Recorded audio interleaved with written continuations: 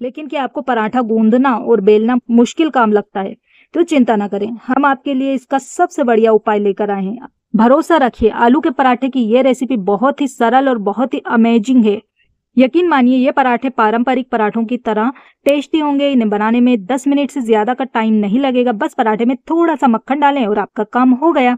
तो चलिए शुरू करते हैं। इसके लिए छह सात आलुओं को प्रेशर कुकर में अच्छी तरह से नरम होने तक कुक कर लीजिए, फिर इसको ठंडा कीजिए और आलू के छिलके छील लीजिए। फिर इसे अच्छी तरह से मेशर से मेश कर लीजिए। अब इसमें हम लाल मिर्च सूखी और कुटी हुई गरम मसाला पाउडर, सौंफ पाउडर, भुना हुआ जीरा पाउडर और चाट मसाला पाउडर एक एक टीस्पून सादा नमक स्वाद अनुसार और थोड़ा सा सेंधा नमक ऐड करेंगे।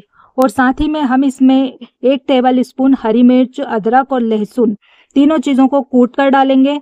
एक प्याज बारीक चॉप करके डालेंगे और बहुत सारा हरा धनिया बारीक बारीक चॉप करके डालेंगे। सारी चीज़ों को अच्छी तरह से मिक्स कर लें और इसके बाद एक मिक्सिंग बाउल में इस अमेजे को पलट लें। अब इसमें थोड़ा सा पानी डालते हुए इसे घोल लीजिए अच्छी तरह से। इस मिक्सचर को हमें खूब अच्छे तरीके से फेंट लेना है।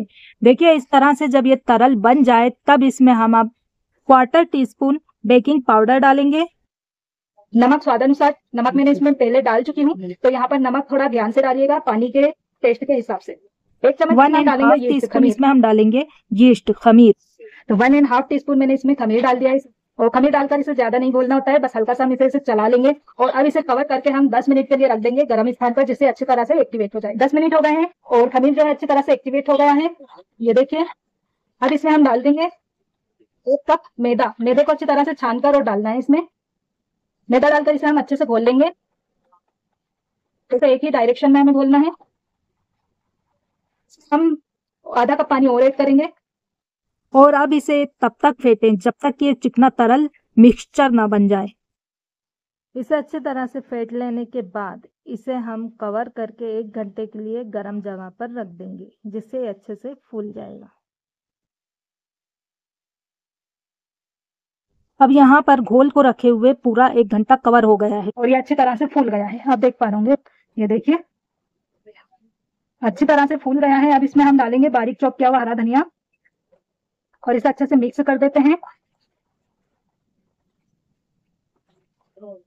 अब हम आलू के पराठे को पकाने के प्रोसेस में चलते हैं तो गैस को चालू कीजिए और इस पर एक नॉन स्टिक तवा रखकर गरम करें और इसकी सतह पर खाना पकाने वाला तेल, मक्खन या फिर घी डालें। मैं यहाँ पर इसमें एक चम्मच मक्खन डालूँगी और इसे तवे पर अच्छी तरह से चम्मच से फैला देंगे। अब बाउल में से एक बड़ा चम्मच मिक्सचर भर करके तवे पर डालें और इसे एक जैसा गोल फैला दें। अब आँच को धीमा करके पेन को एक लीड से कवर करें और दो से तीन मिनट तक इसे निचली सतह से पकाएँ। जब निचली सतह इसकी अच्छी तरह से पक जाएगी और ऊपर की जो भाग है, हिस्सा है, ये सूख जाएगा, तब पेन के ढक्कन को हम हटाएँगे और इसे पलट लेंगे और इसी तरह से दूसरी तरफ़ भी इसे पकाएँगे। पराठे को पलटने से पहले पेन में थोड़ा सा मक्खन डाल दीजिए, जिससे इसका दूसरा हिस्सा भी अच्छी तरह से पक पाएगा।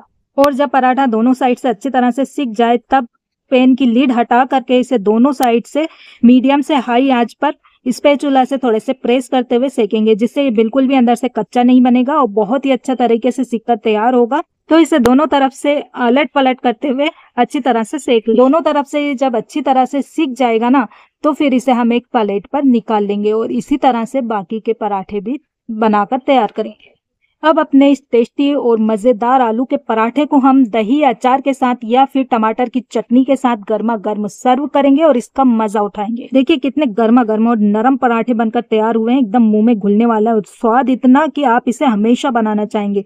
तो इसे बनाइए और इंजॉय कीजिए और मुझे कमेंट करके बताइएगा कि आपको आलू के ये पराठे कैसे लगे। वीडियो अच्छी लगी हो तो प्लीज़ वीडियो को लाइक कीजिएगा, ज़्यादा से ज़्यादा फैमिली फ्रेंड्स में शेयर कीजिएगा और मेरे चैनल को सब्सक्राइब करना नहीं भूलिएगा।